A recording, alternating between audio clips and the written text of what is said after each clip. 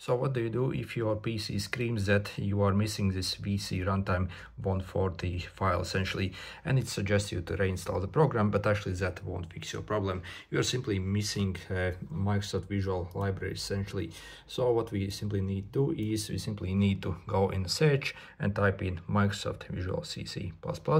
Over here and basically uh, click on this uh, first result from the Microsoft website over here and uh, okay let's click over here so the latest versions.